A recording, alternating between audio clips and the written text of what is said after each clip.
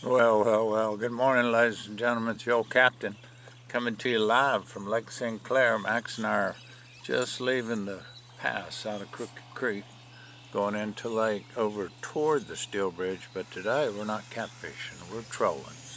And tried this the other day for the very first time. It's relaxing, a lot of fun, and just something different. So today we're pulling um, a white rooster tail. And we're also Mepps XD. Got a little weight on it. It was recommended by somebody I trust and caught fish on both last time. I never trolled before last time and caught six or eight fish. So um, I don't know what to expect, but we're just going to chill out and ride around, probably ride down the right side here and close to the bridge and turn around and come home. Probably take a couple hours. But um, I'll keep you posted as we go. And um, appreciate you joining us. Hope you're doing well and staying away from folks.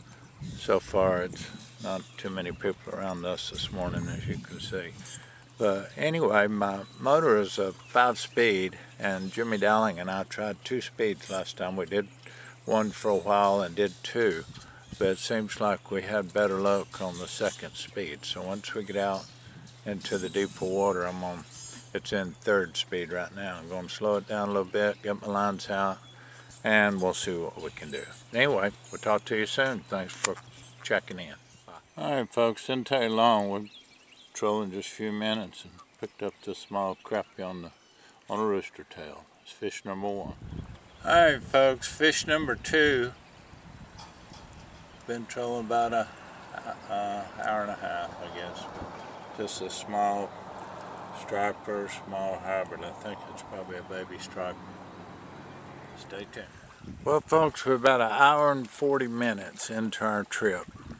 Max is settling into this trolling mode. We stopped by and visited with some friends on the dock, and we're kind of hugging up close to the bank. The wind's kind of gotten up. We're going to kind of follow the shoreline on the way home. It's still going to take an hour or so to get home anyway, maybe we'll catch another fish before we get home. If not, we'll um, close it out here in a little bit. Take care. Well, folks, the wind's picked up a little bit, and the Mepps spinner thing just went down, caught this little bass. So that's three fish, three different kinds. All right, folks, this is fish number four, another little yearling bass. I don't even know what kind, just largemouth, I guess. Anyway, that's four. That's good so far. Well, folks, this is the old captain wrapping it up for today. We left here about 10. It's about 20 to 1. That's a couple hours and a half. And we stopped and talked to our friends, the Latimers, for a while on their dock. We wound up with four fish, two bass, a hybrid or a stripe, and then uh, one little crappie.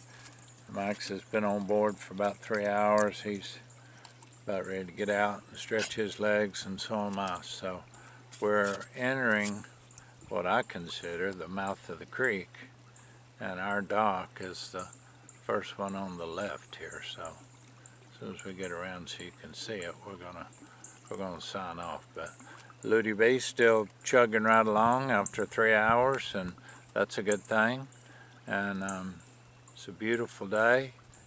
So far I've trolled two different times and caught fish two different times. So I don't have to catch a lot to keep up my interest. It's just something to do.